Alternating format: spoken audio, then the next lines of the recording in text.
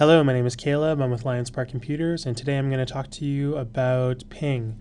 So, pinging is where you are um, asking another computer to respond to you. So, let's say we're we're trying to test whether we have an internet connection. We could ping Google, or uh, let's say we're trying to connect to a server on our network and and we can't uh, seem to get to it. We can try pinging it to see if it's uh, on and responding. So what we're going to do is we're going to go to start and type in cmd. And then to ping, we're going to type in ping space.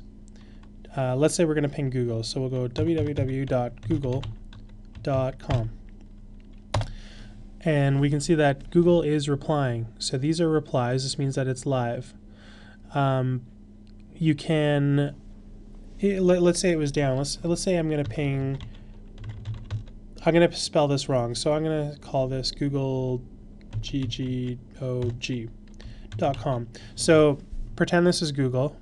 Of course, it's not, but pretend it's Google, and we're going to see what the response is with this. Oh, I forgot to type in ping. So I'm going to hit enter, and it's saying the ping request could not find the host www.googleggog.com. Of course, it doesn't exist um, please check the name and try again.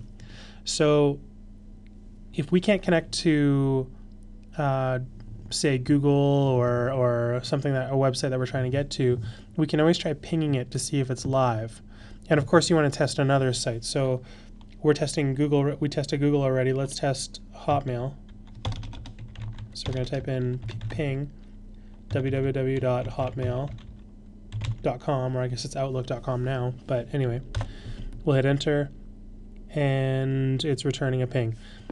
And so we can see right here we're getting the name of the server and the network that it's on too.